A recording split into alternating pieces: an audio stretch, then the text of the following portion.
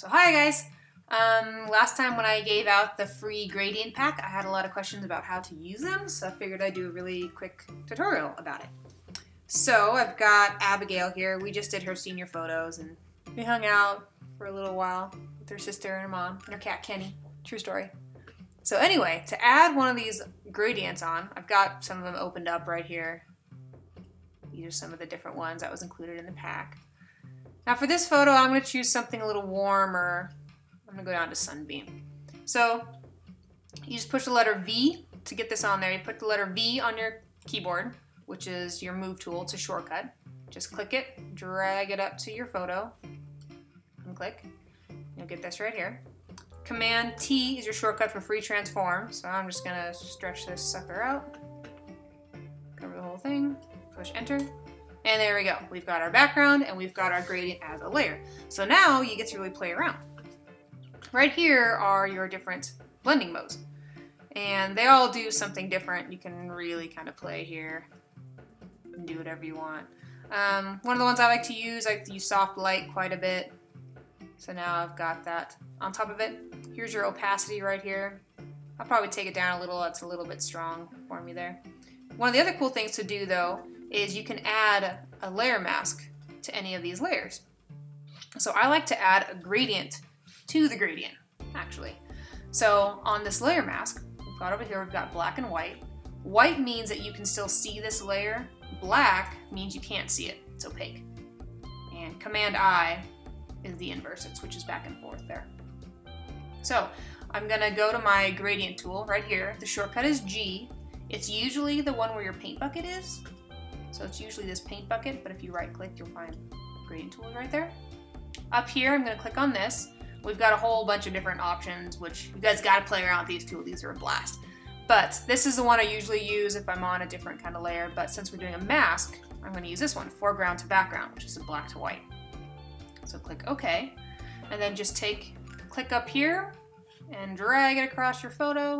You can drag it pretty much wherever you want the sun to be coming from. I want the sun to stay from kind of similar to where it's coming from in the photograph. So I'm going to go kind of up there. And you can see that it's creating a gradient. The white is where we can see the layer and the black is where we can't. So it's showing up in this upper left-hand corner and it's disappearing by the lower right-hand corner. As you can see, it just creates something like that. So if I want to make a haze, I can do that. Let's see, let's delete this layer mask and we'll add another one just for fun. Um, let's take this. We can go to screen up here. We'll lower the opacity even more on that.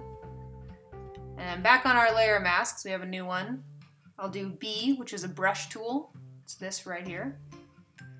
I'm on an opacity of about, let's do a little more just for demonstration purposes. We'll do 50%. It'd be a little lower in real life, but hey, we don't take that long on a video. Blending mode is normal. We want to do the soft version, obviously. Here's where you can adjust that up here too, like your soft version.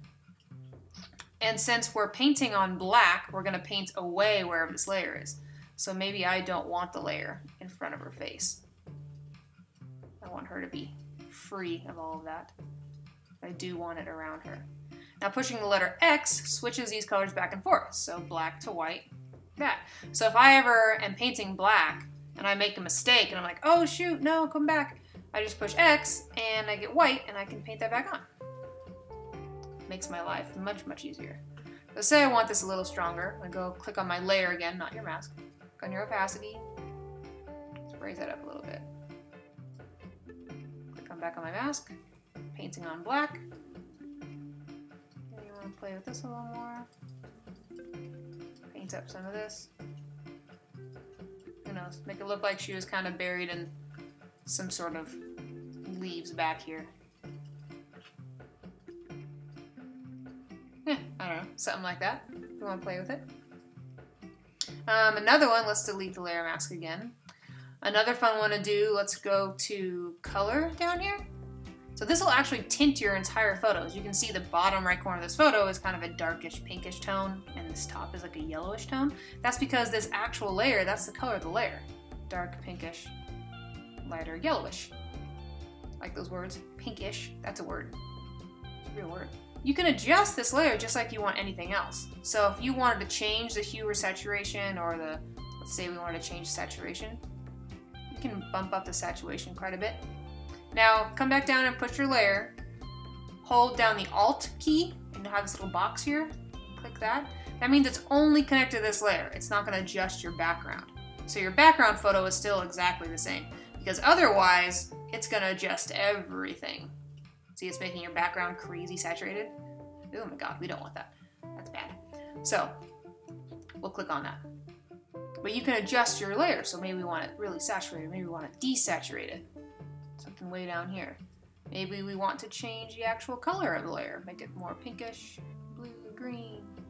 Play around with whatever we want. Yeah. And the same thing, get rid of that. We can do, curves layer, lighten it, darken it. We're getting a little crazy there too, aren't we? So yeah, there are about a million things you can do with these, but yeah, that's about it. See ya!